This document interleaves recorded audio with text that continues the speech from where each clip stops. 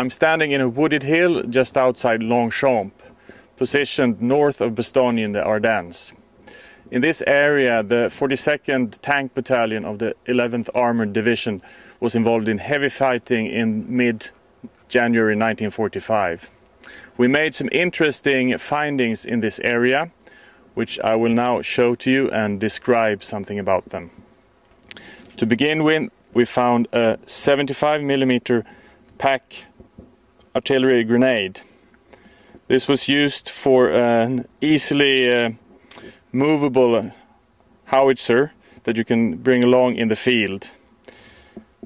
As you can see it's in pretty good shape.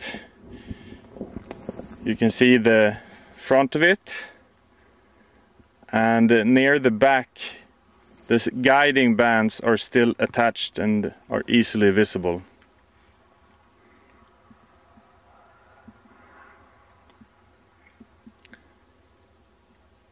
In the area we also found a lot of uh, 30 caliber casings which are visible in this shot. Most of them fired but also unfired.